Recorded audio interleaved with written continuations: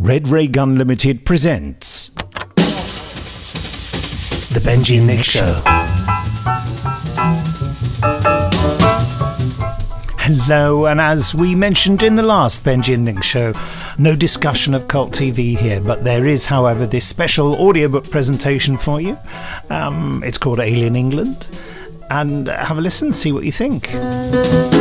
Oh, by the way, if you want to let us know what you think, do email us at podcast at nicholasbriggs.com. Benji and I will, of course, be back next week, and we'll be talking about New Scotland Yard.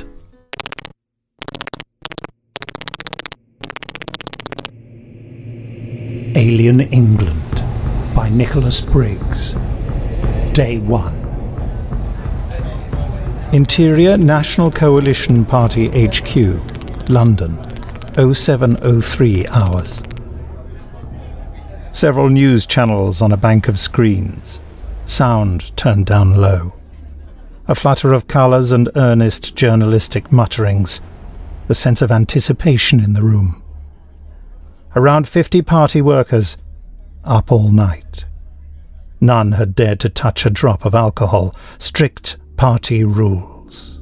Be sober. Be responsible. A government in waiting. And the waiting was nearly over. The booze was locked away, but everyone knew where it was. Shirt sleeves, loosened ties, untucked blouses, some kicked off high heels the smell of stale perfume, deodorant, sweat, unseasonably warm weather. An army of discarded jackets and coats hanging off the backs of chairs. The party workers were wearily pawing their mobile devices and laptops.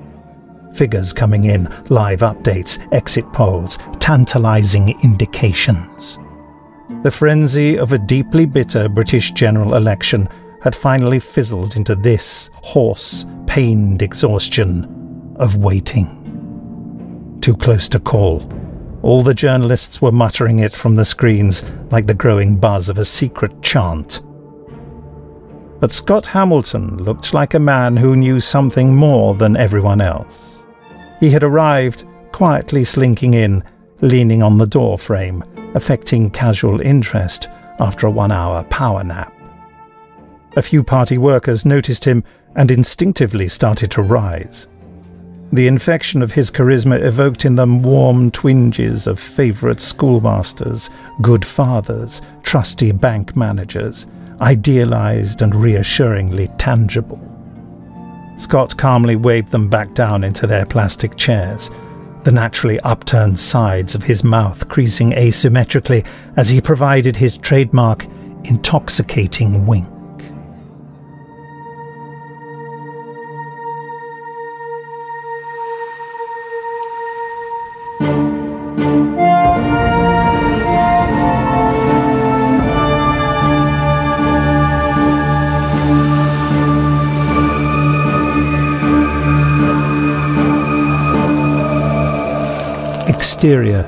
Just off the Dorset coast, 0705 hours. Swerving and banking, the stuttering sound of some kind of jet propulsion cutting in and out. A reflective object about the size and shape of a military fighter aircraft tumbled out of control. It hit the water in a blur of speed, a cascade of spray, and a tidal surge washing over the entirety of the east beach of West Bay, surging through seaside cottages, a restaurant, a pub, and a car park. Four early morning dog walkers and their dogs were instantly killed by a combination of impact trauma and drowning. Some 23 others were badly injured. The shattering sound of the crash had followed a split second after the impact and was heard for miles around. The local police immediately dispatched a squad car to the coast. Emergency phone calls flooded in. A terrorist attack was suspected. The security forces of the UK were alerted. The corridors of secret operations buzzed with anticipation, deep within Whitehall and deep within establishments forever hidden from public cognizance. Exterior National Coalition Party HQ, 0732 hours. Scott Hamilton wasn't waiting for the trip to Buckingham Palace to ask the King for permission to form the next government, although, of course, he would observe that formality. He wasn't waiting to make a speech outside number 10 Downing Street either. That, too, would come later. His political instinct told him he must grab the initiative now. He strode from his party headquarters to stand at a hastily prepared podium festooned with microphones. A gathering of journalists surged towards him, cameras flashing, a flurry of questions bristling. They knew. He knew. The confidence of his face said it all. He waved his hands soothingly, gave that signature wink and smile, and for a moment, one of those extraordinary things happened. To Scott, it felt like the mantle of greatness descending upon him. In truth, it may have just been the result of mass weariness, of political fatigue, that sense that, one way or another, all the arguments and anger were over, at least for a few hours. It may have been just an exhalation. But what it looked like, what it could easily be mistaken for, was that moment of greatness because the journalists all stopped speaking. With a gesture, Scott Hamilton had calmed the raging sea before him. And this chance coincidence of his moving hands, of his audience's exhaustion, and of this particular moment in British political history, this fluke occurrence, fostered within Scott the illusion of destiny. The hairs on the back of his neck tingled. He felt a warmth within. This was, he suddenly felt sure, the best moment of his life. And somehow that feeling radiated out from him and genuinely did affect those standing before him. That extraordinary, almost indefinable effect that humans can have upon each other when one of them exerts power in precisely the right way at precisely the right moment.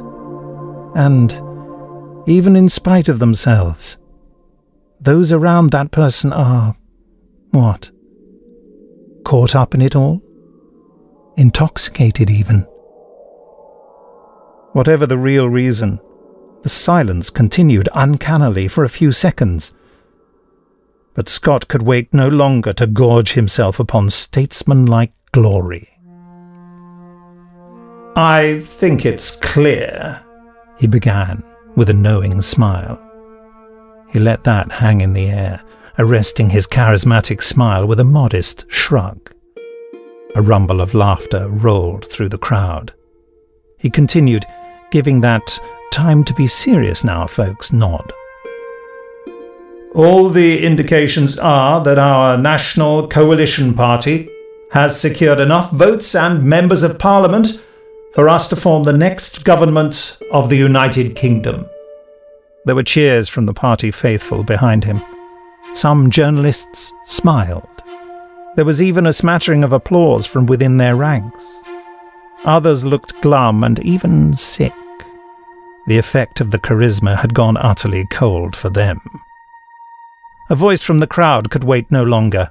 Which policy are you going to deliver on first, Mr. Hamilton? Scott squinted through the flash photography for a moment to identify the speaker. As he thought from the tone, a hostile questioner from the BBC. Will it be controlling the food riots in the north or your immigrant identification scheme? continued the questioner. Scott drew breath to answer, but he stopped as he caught sight of Alice Ashville heading towards him through the crowd of party workers. She was his chief political adviser. In short, the reason he was about to become Prime Minister of the UK. The expression on her face told him not to say anything. He trusted her implicitly. And although he couldn't think of any reason why he shouldn't immediately proclaim the imminent implementation of his flagship policies, do you have any reaction to the developing emergency in Dorset? Another voice rang out. Alice was having trouble getting through the crowd. Scott shot her a look. She was pushing hard to get past a particularly enthusiastic knot of party workers. They resisted her until they could see it was her. Finally, the crowds started to part. He hasn't heard, muttered a journalist close by. Alice was suddenly at Scott's side. He bent his head down, expecting an urgent whisper in his ear. But instead, she firmly reached round to his left shoulder and turned him away from the microphones, propelling him towards a cluster of advisers behind him. He spotted a government limousine pulling up in a side street just beyond party headquarters. He knew it was for him. He headed towards it, just catching Alice's words to the crowd behind him. The Prime Minister is about to receive a full briefing on that emergency situation, she was saying. He isn't the Prime Minister yet, called out a journalist. Somewhat savagely, Alice countered, Oh, I think you're just splitting hairs now, Joe. Exterior, West Bay, East Beach, Dorset, 10.07 hours. Emma Wells had been woken at 0717 hours by a FaceTime call from someone she'd never met. But he clearly had access to all kinds of advanced security software because his call had somehow managed to switch on all the devices in her flat and set off her burglar alarm. He clearly had been very keen to wake her up. She knew that she'd ticked a box somewhere on her application form for her current job, research leader in interplanetary sciences at Wharton University, expressing a willingness to make herself available for government service in time of crisis. At that point, She'd rather fancied the idea, having a fantasy about various science fiction films over the years when lowly scientists had been plucked from obscurity to save the day. Now she had actually received the call, she just felt a bit sick and quite scared. The feeling sick may have been caused by the third of a bottle of red wine she'd consumed the night before. She wasn't good with alcohol, but had felt it was the only escape from her worries about the unpleasant interdepartmental squabbling at her university. The man on the FaceTime call had given her the code name of the operation she was to advise upon Viper, and had told her that a car was waiting outside. She should get dressed quickly and bring nothing else with her, expressly not any mobile devices or phones. The car had, oddly, taken her to a local park in southeast London she hadn't seen any sign of Operation Viper here. She had been confused, but the dark suited security guard and driver with her had been unforthcoming. Moments later, a helicopter had landed. She had been whisked aboard and was now stepping out of said helicopter in West Bay on the Dorset coast. She could see that the beach had been cordoned off and that there were military personnel and vehicles in evidence. During the helicopter journey, she'd been given a file to read on a tablet. It had been a live file, constantly updated from the crash site. Crash site. That was worrying. An aircraft had apparently crashed early this morning just off West Bay, a modestly popular coastal destination.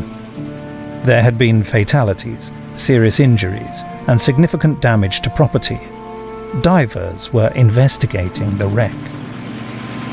Despite the deafening whir of the helicopter, the swirling wind, the toing and froing of military personnel, the fact that no one would really talk to her, and the sickness in her stomach, so far, Emma was pretty much making sense of all this. Only one question was bothering her. What's all this got to do with me? She asked the most important looking military person she'd seen so far this morning. He shook her hand, said hello, introduced himself. She instantly forgot his name, and instead of answering her question, he gestured to an approaching frogman who was running up the beach towards them, removing his mask and flippers. He was furiously pointing to the tablet in Emma's hands. She looked down at it and could see that video was streaming. It was a live feed, as the advancing timestamp correlated to the time at the top of the device's screen. At that moment, the helicopter lifted off. Relaxing a little in the sudden quietness, Emma squinted at the screen and asked, Is this the aircraft? She looked up at the frogman, who she discovered was a woman. The army officer angled himself around to look at the screen. And then a thought struck Emma. She could tell from the diver's expression that she was already thinking it. And it was dawning on the officer's face, too. The streaming image showed the fuselage of something that did indeed look like some sort of jet aircraft underwater. But the problem was, if it had crashed, why wasn't it damaged in any way? Exterior 10 Downing Street, Central London, 1100 hours. After a short briefing from the security services concerning the West Bay crash, Scott Hamilton had been rushed to Buckingham Palace.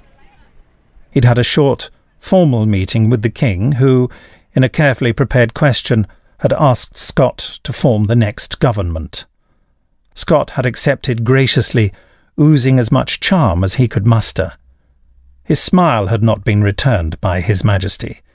Instead, Scott felt he detected distinct disapproval.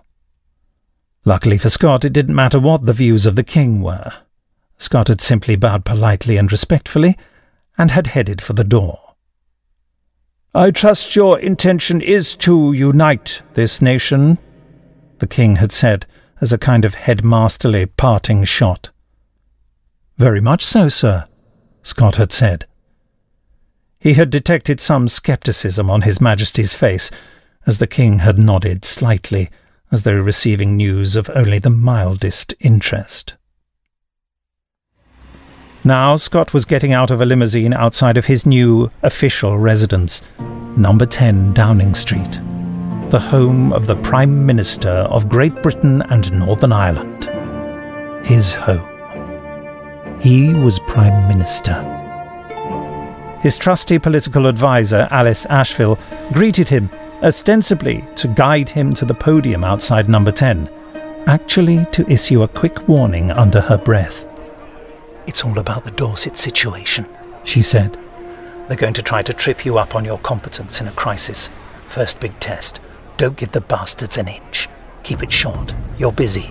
No time for policy statements. They know all that. Scott was a trifle wounded. No time at all? he asked. He'd prepared a speech. Alice shot him a steely glare. Trust me, this is a defining moment. Screw it up, and you'll spend the next four years apologizing for it. Scott wasn't keen on apologizing to anyone for anything. It was a well aimed warning from Alice. So, as he got to the podium, he obeyed her instructions to the letter. I know it's customary to speak to the nation at this moment, of our plans for the future. But we all know there's an emergency unfolding, and it would be a dereliction of my duty as Prime Minister not to attend to matters of national security first. Thank you for your understanding. And with that, he'd done it again. Reduced the press to silence. Twice in one day. He was becoming a legend before lunchtime.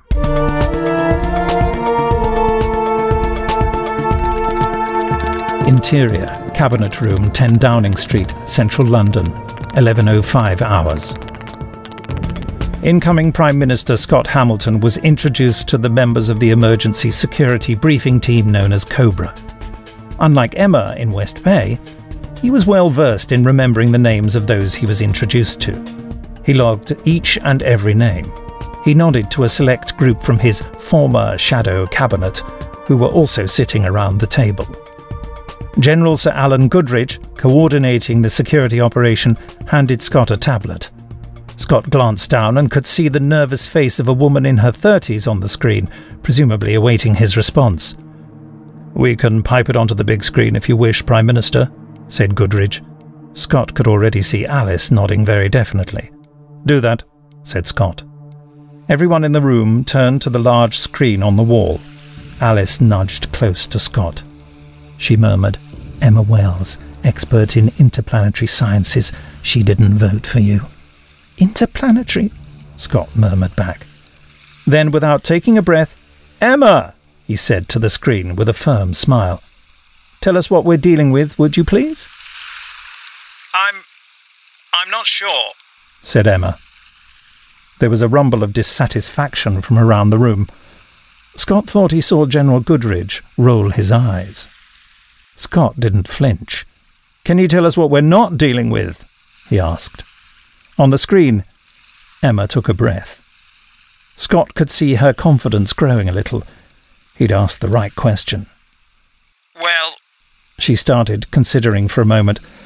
We're not dealing with any recognizable aircraft. The design is suggestive of a jet fighter, but. She petered out. Not any known design? Asked Scott. Something new? Foreign? Goodridge and his team leant forward, concerned. It's difficult to explain, said Emma. OK, Emma, said Scott with studied patience. Just tell us what you think.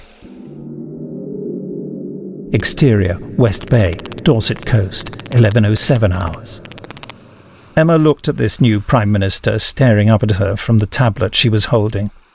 She'd never liked the look of him, and she didn't like the policies of his alliance of centre right and far right parties. She'd voted for the other lot, the centre left coalition, who'd had such a disastrous time ever since Brexit.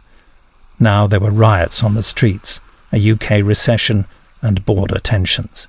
And the centre left had lost a vote of no confidence only two years after scraping into power with a tiny majority.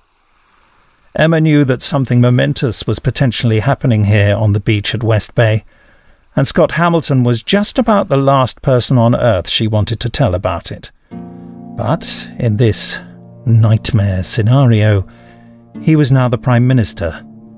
All the jokes about his smart three piece suits and his sick making wink were horribly outdated all of a sudden.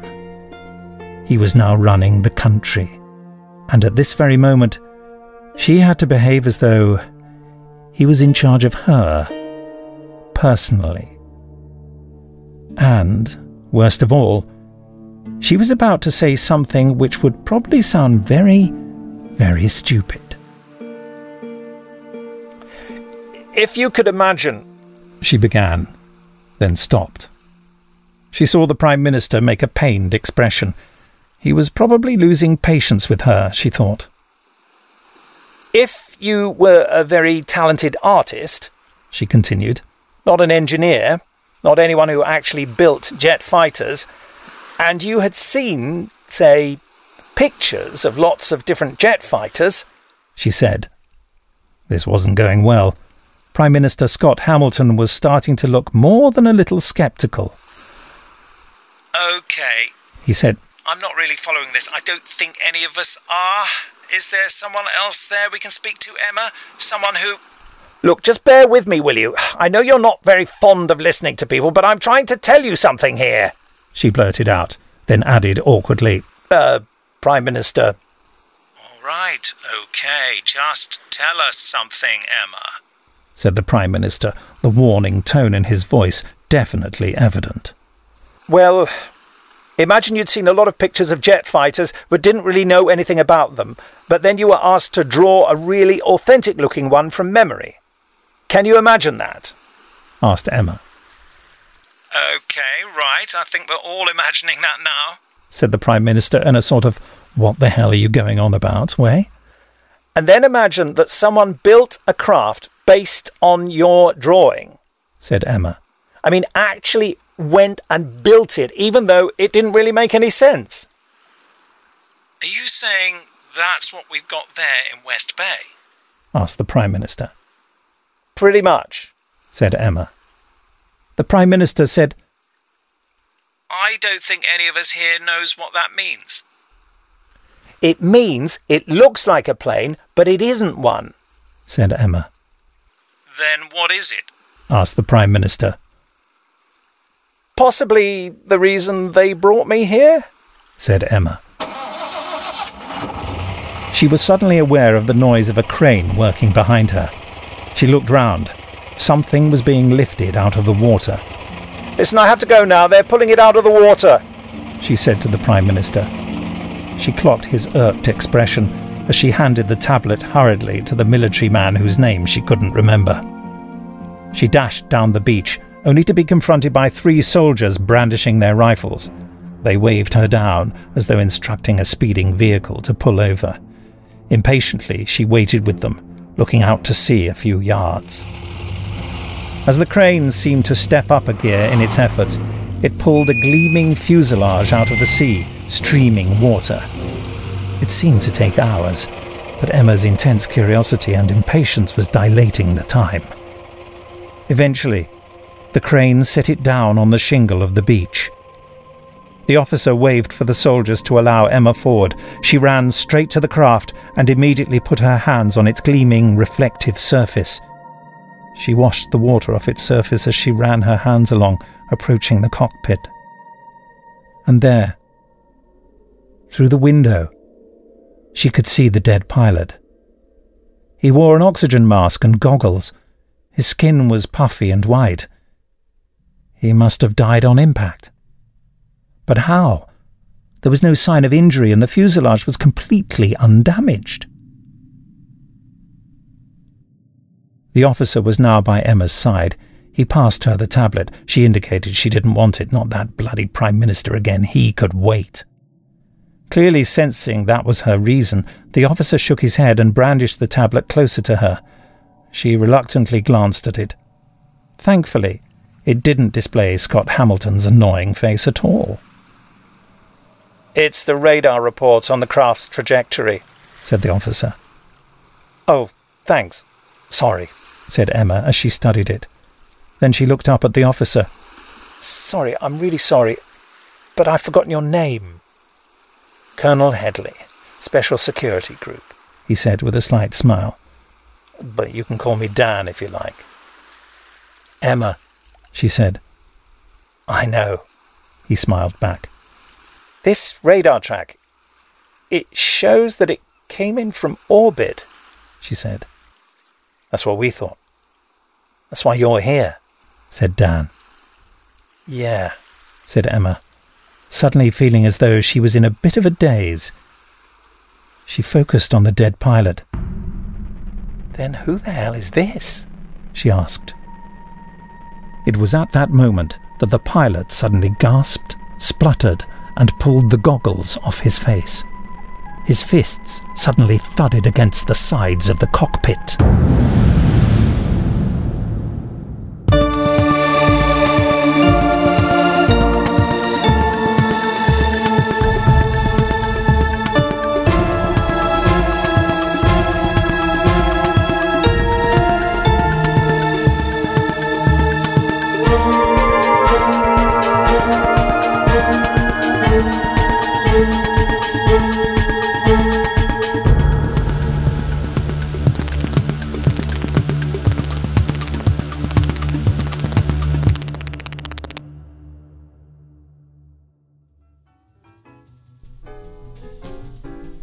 There you have it, Alien England.